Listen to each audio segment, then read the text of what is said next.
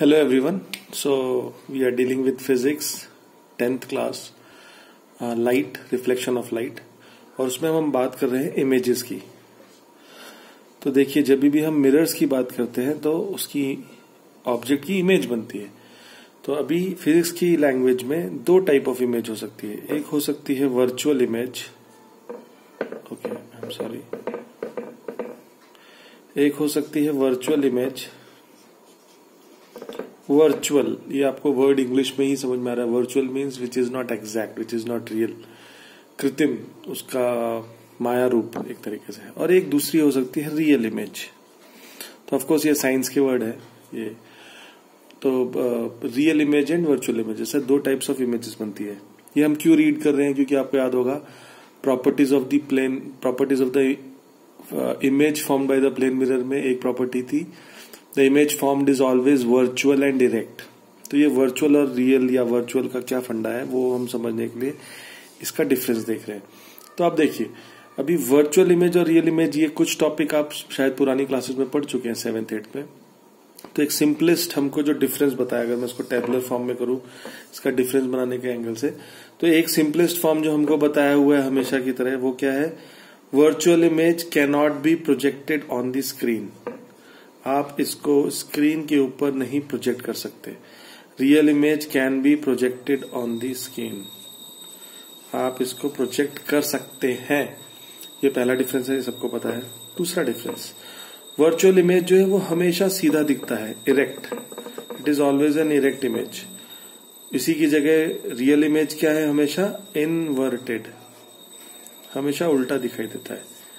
Real image हमेशा उल्टा ही दिखाई देता है। So that's why real image always go real and inverted आपको अगर याद होगा, हम लोग आगे पढ़ चुके हैं चीज़। R and I and virtual image is always goes as V and E virtual and erect तो वर्चुअल हमेशा इरेक्ट होता है रियल हमेशा इन्वर्टेड होता है। तो कुछ पॉइंट्स ये मैं आपको पहले भी बता चुका हूँ, बहुत सारे टॉपिक हमारे साइक्लिक हैं। वो पहले मुर्गी आई के अंडा आया। तो बिना मुर्गी के अंडा नहीं आ सकता, बिना अंडे के मुर्गी नहीं आ सकती। सिमिलरली ये टॉपिक्स हमारे ऐसे रहते हैं कि पहले आप ये पढ़ो, फिर इससे आप ये समझो। जब आप ये पढ़ के समझ जाओगे तो आपको समझेगा अच्छा इसकी और क्लैरिटी आएगी। तो ऐसे हमारे साइंस में बहुत सारे टॉपिक्स ऐसे रहते हैं जो थोड़ा सा समझ के पहले एक टॉपिक पढ़ना पड़ता है, फिर बाद में उसमें और ज़्यादा क्लैरिटी आ जाती है। तो वैसे ही ये थोड़ी सी आगे की चीज़ है। ऑफकोर्स क्लास में हम लोग ये कर चुके थे बट स्टिल जो न्यू बच्चे हैं, उनके लिए ये आगे की चीज़ है। तो ये हम थर्ड टॉपिक पढ़ चुके हैं कि वर्चुअल इमेज हमेशा किससे बनती है? डाइवर्जिंग रेस से। डाइवर्जिंग डाइवर्जिंग रेस को यूज़ करते हुए वर्चुअल इमेज बनती है। और इमेज रियल इमेज किससे बनती है हमेशा? कन्वर्जिंग इमेज से। कन्वर्जिंग कन्वर्जिंग रेस को यूज़ करते हुए बनती है। तो ये आपको मैं दूसरे वीडियो में समझा चुका हूँ डाइवर्जिंग और कन्वर्जिंग का जो थ्योरी है। और इसी से रिलेटेड फोर्थ पॉइंट है कि देखिए इमेज ही हमेशा तभी बनती है वेन द टू और मोर रिफ्लेक्टेड रेज मीट जब दो या दो से ज़्यादा रिफ्लेक्टेड रेड ही पॉइंट पे इंटरसेक्ट होती है वहाँ पे इमेज बनती है। तो इसी से कनेक्टेड है। आगे और भी बहुत सारे हम डिफरेंसेस लिख सकते हैं एक्चुअली बट अभी सिंपल हम लोग लिख रहे हैं कि वर्चुअल इमेज जो हमेशा होती है ना it is never actual intersection of the reflected ray but the reflected rays appear to be इसमें हमारे बहुत इंपॉर्टेंट पॉइंट है it appears to be it appears to be intersecting it appears to be intersecting it appears to be meeting at a point जबकि इसी की जगह real image में they actually meet they actually intersect they actually intersect तो जो reflected rays हैं, वो real images में एक्चुअली इंटरसेक्ट करती हैं। और वर्चुअल uh, इमेजेस में दे अपियर्स टू बी वो एक्चुअली में होती नहीं है अपियर होती है। वो आपको मैं रेस बता चुका हूँ converging rays and diverging rays तो उसमें पीछे पीछे पीछे डॉट डॉट डॉट करना पड़ता है। एंड ऑफकोर्स इसके बाद हम एग्जाम्पल्स भी दे सकते हैं। तो और भी बहुत कुछ हो सकता है इन डिफरेंसेज में रियल वर्चुअल के।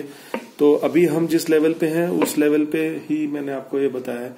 इसमें और डिफरेंसेज हो सकते हैं आप एग्जाम्पल्स दे सकते हैं रियल और वर्चुअल का। तो वर्चुअल के एग्ज़ाम्पल होंगे प्लेन मिरर पहला तो।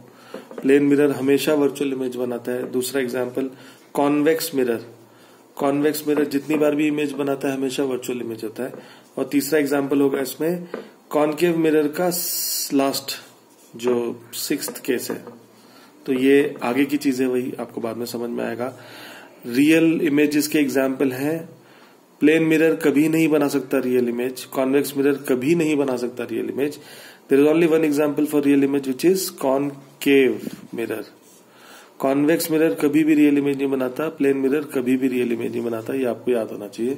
Only concave mirror can make real images और उसमें भी only five types five cases five cases में ही रियल इमेज बनती है six case is the convex virtual image तो ऐसा हमारा डिफरेंसेस है ये। तो यू शुड हैव मतलब you should definitely know the differences between real image and virtual image but आपको एकदम major and very important differences अगर बोले जाए तो बेसिकली वो दो या तीन ही है। पहला virtual cannot be projected on screen real can be projected on the screen virtual is always erect real is always inverted virtual is made because of diverging rays. Real is made because of converging rays. ये तीन major differences में बोलूँगा। बाकी बहुत सारे हैं जो details में भी हो सकते हैं। So thank you for watching धन्यवाद।